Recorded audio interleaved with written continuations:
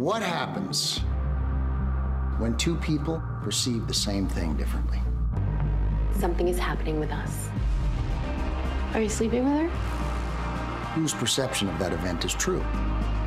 You're being crazy. Their truth represents the ultimate truth. I can't prove that something doesn't exist. Why are you doing this?